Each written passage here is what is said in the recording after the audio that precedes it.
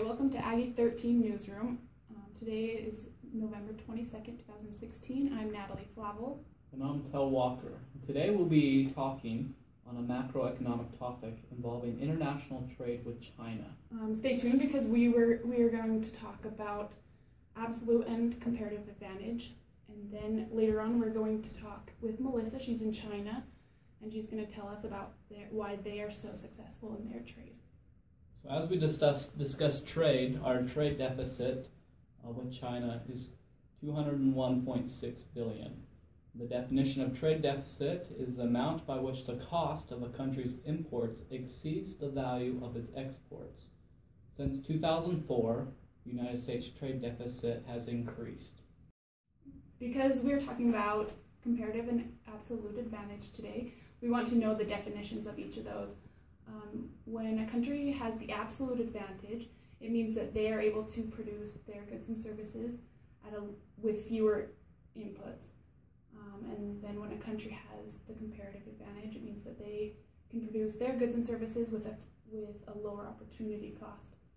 Um, so we can see by those definitions that the U.S. has the absolute advantage, and we can prove because we can produce more goods and services with the same amount of resources, and then China has that comparative advantage because they can produce their goods and services at a lower opportunity cost. And with that, we'll now be hearing from Melissa, who is in China, and she will inform us and instruct us on why China is so successful in competitive advantage while she talks about um, specialization. Thank you, Natalie and Tel. I am Melissa Lewis, and I am currently in Beijing, China.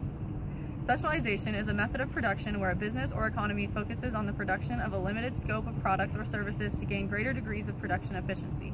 China mainly specializes in furniture, toys, and clothing, while the U.S. specializes in vehicles, aircrafts, and machinery. China has the comparative advantage because they are able to produce things at a lower opportunity cost thanks to child labor and cheap labor in general. Back to you, Natalie. Thank you, Melissa. Um, now we can see that United States and China continue to help each other out by specializing in different areas of trade. Um, we couldn't have the absolute advantage without China having the comparative advantage.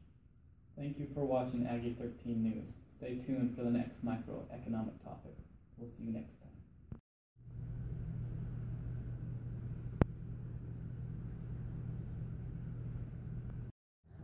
Hey, I'm Natalie. I was a source locator and I wrote my part of the script.